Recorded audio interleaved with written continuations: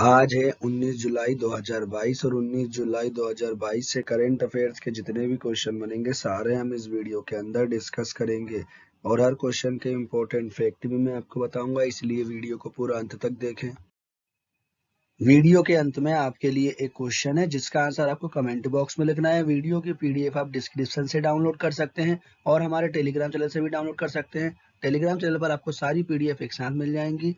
Daily quiz के लिए हमारे टेलीग्राम चैनल को ज्वाइन करें तथा इसका ऑडियो सुनने के लिए हमें खबरी पर फॉलो करें। सभी लिंक को मैंने डिस्क्रिप्शन में दे दिया है।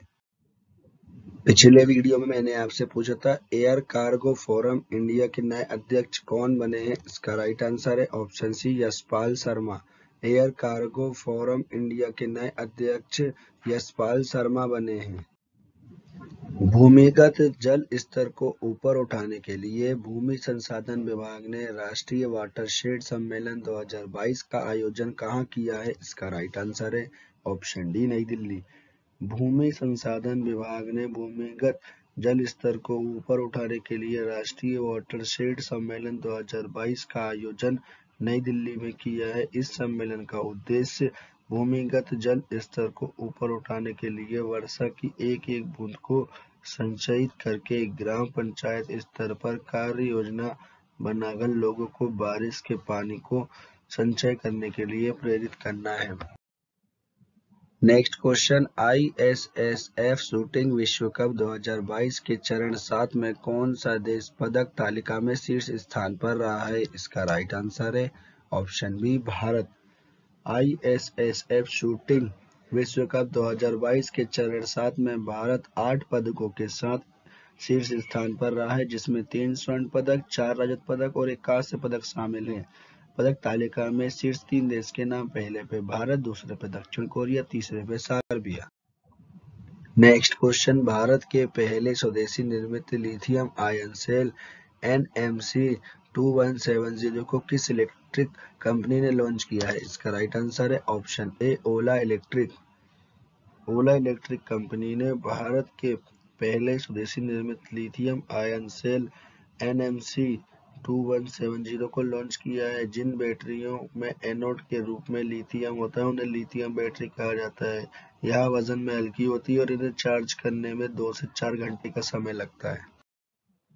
नेक्स्ट क्वेश्चन कोविड 19 महामारी के बाद स्कूलों से बाहर हो चुके छात्रों को वापस लाने के लिए अर्न विद लर्न नामक योजना को किस राज्य सरकार ने शुरू किया है? इसका राइट आंसर है ऑप्शन बी त्रिपुरा। त्रिपुरा राज्य सरकार ने कोविड महामारी के बाद स्कूलों से बाहर हो गए छात्रों को वापस लाने के लिए अर्न विद लर्न नामक योजना को शुरू किया है। यह योजना विद्यालय चलो अभियान का एक हिस्सा है। इस योजना के तहत तीसरे वर्ष के कॉलेज छात्रों को कक्षा में ड्रॉप आउट की पहचान करने के लिए सर्वेक्षण करने का काम सौंपा गया है। उन्हें स्कूल में फिर से नामांकित करने के लिए 500 का इनाम दिया जाएगा। त्रिपुरा के बारे में जानकारी। इसकी स्थापना 21 जनवरी उन्नीस सौ बहत्तर को हुई थी। त्रिपुरा की राजधानी अगरतला, यहाँ के मुख्यमंत्री मणिक शाह, त्रिपुरा के गवर्नर सत्यदेव नारायण और त्रिपुरा उच्च न्यायालय के मुख्य न्यायाधीश इंद्रजीत महांती नेक्स्ट क्वेश्चन, कृषि व्यापार को बढ़ावा देने के लिए प्लेटफॉर्म टू प्लेटफॉर्म नामक पहल को किसने शुरू किया है? इसका राइट आंसर है option C Narendra Singh Tomar.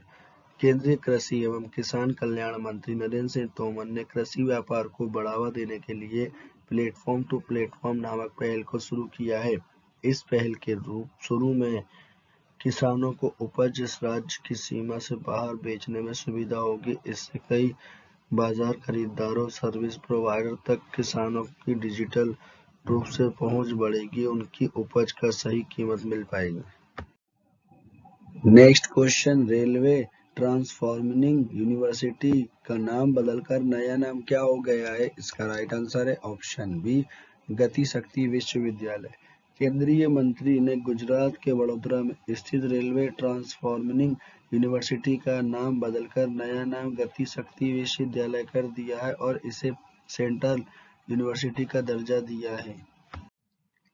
Next question Japan के सर्वोच्च सम्मान supreme order of the chrysanthemum 2022 से किसे सम्मानित किया जाएगा? इसका राइट आंसर है option A Shinzo Abe Japan के पूर्व मुख्य प्रधानमंत्री शिंजो आबे को मरणोपरांत supreme order of the chrysanthemum से सम्मानित किया, करने का निर्णय लिया है। सिंजो आबे जापान के सबसे लंबे समय तक कार्य करने वाले प्रधानमंत्री थे। Supreme order of the chrysanthemum सम्मान। यह सम्मान जापान के सर्वोच्च पुरस्कार है। जापान के सम्राट मीजी ने 1876 में great corner of the award की स्थापना की थी। नेक्स्ट क्वेश्चन, हिमाचल प्रदेश के नए मुख्य सचिव कौन बने हैं? इसका राइट आंसर है ऑप्शन सी रामदास धीमन। रामदास धीमन हिमाचल प्रदेश के नए मुख्य सचिव बने हैं। इन्होंने राम सिंह सुभाग का स्थान लिया है।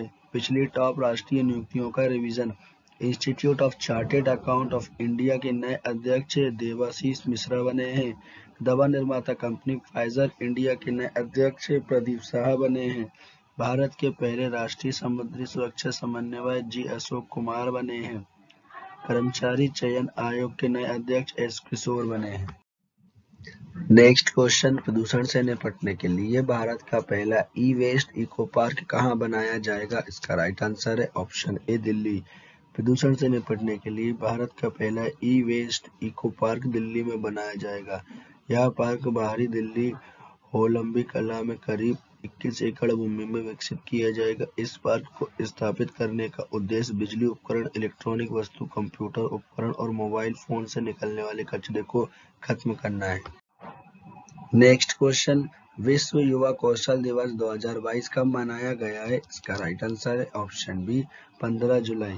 प्रत्येक वर्ष 15 जुलाई को विश्व युवा कौशल दिवस के रूप में मनाया जाता है। इस दिन को मनाने का मुख्य उद्देश्य युवाओं को आवश्यक कौशल बढ़ाने के महत्व को समझाने में मदद करना, ताकि उन्हें रोज़गार, कार्य और उद्यमिता के बारे में महत्वपूर्ण निर्णय लेने में मदद मिल सके।